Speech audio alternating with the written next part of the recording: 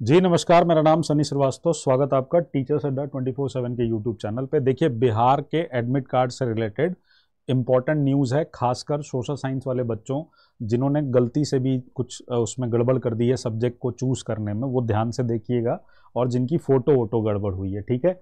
ये अभी थोड़ी देर पहले ये आया है बिहार की तरफ़ से मतलब आयोग की तरफ़ से, जिसमें ये कह रहे हैं कि जो इनकी परीक्षा होने वाली है, ठीक है? जो इनकी परीक्षा होने वाली है, उस परीक्षा के लिए अगर आपके ई एडमिट कार्ड पर, अगर आपके ई एडमिट कार्ड पर लेटेस्ट फ़ोटो अपलोड करते समय गलत फ़ोटो अपलोड होने के कारण E admit card second photo किसी अन्य व्यक्ति का फ़ोटो दर्ज हो गया है। तो ऐसे अभिव्यर्थियों, क्योंकि बहुत सारे लोगों के मैसेज आ रहे थे कि हमारे वाले एडमिट कार्ड में किसी और की फ़ोटो लग गई है तो ऐसे लोगों को गलत फ़ोटो एडिट कर सही फ़ोटो दोबारा अपलोड करने के लिए अंतिम अवसर प्रदान कर रहे हैं। उनके डैशबोर्ड पर दिनांक पाँच बारह से छह बारह तक फ़ोटो अपलोड करने की सुविधा प्रदान की जाएगी।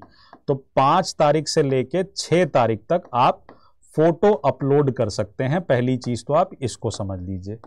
पहली चीज़ आप इसको समझ लीजिए कि आप क्या कर सकते हैं, फ़ोटो अपलोड कर सकते हैं, जिसकी भी फ़ोटो गलत हो गई, जिसकी सही है उसको कोई ज़रूरत नहीं है, जिसकी फ़ोटो गलत अपलोड हुई है वो।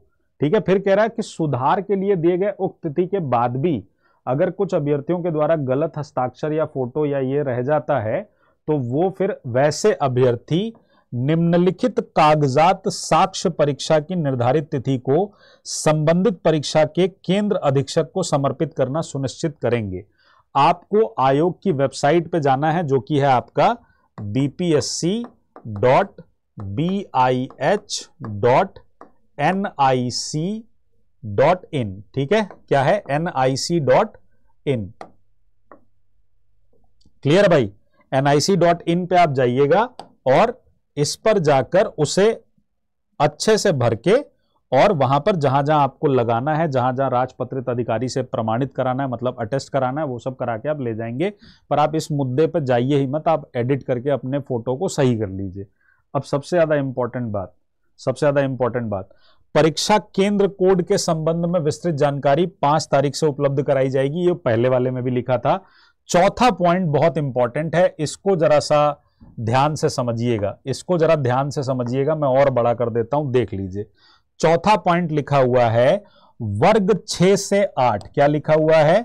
वर्ग छ से आठ एवं वर्ग नौ दस से संबंधित वैसे अभ्यर्थी जिन्होंने सामाजिक विज्ञान विषय समूह विषय का चयन किया है, वो इतिहास, भूगोल, अर्थशास्त्र और राजनीति शास्त्र में किसी दो विषय का चयन करने में अगर उन्होंने त्रुटि कर दी है तो उन्हें त्रुटि निराकरण हेतु अंतिम अवसर प्रदान किया जा रहा है। मतलब अगर आपने हिस्ट्री और पॉलिटी चुनना था, पर आपने गलती से हिस्ट्री और इकोनॉमिक्स चुन लिया है तो अभी आपके पास समय है, आप जाकर इसे क्या कर सकते हैं? चेंज कर सकते हैं, ठीक है? अभ्यर्थियों को परीक्षा प्रारंभ होने के एक घंटा पहले तक ही परीक्षा केंद्र में प्रवेश की अनुमति दी जाएगी। एक घंटा के बाद वो चीज़ बंद कर दिया जाएगा। ओएमआर जब तक सील बंद ना हो जाए, तब तक वहाँ से नहीं निकलिएगा। ठीक है?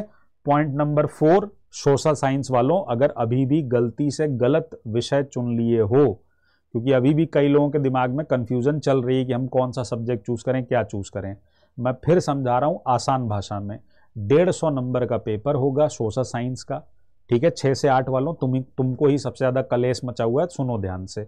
छह से आठ का पेपर होगा ठीक है, डेढ़ सौ नंबर का पेपर होगा, तीस नंबर का आपका लैंग्वेज है जो कि क्वालिफाइंग है, चालीस नंबर की आपकी जीएस है, अब बचा अस्सी नंबर का जो आपका सब्जेक्ट है, इसमें आपको कोई दो ही सब्जेक्ट चूज़ करने हैं हिस्ट्री या ज्योग्राफी में से कोई एक होना चाहिए, उसके अलावा आप कोई भी दूसरा सब्जेक्ट चूज़ कर सकते हैं, अगर आपने गलत कर लिया है अभी तक तो जाकर सही कर दीजिए, ठीक?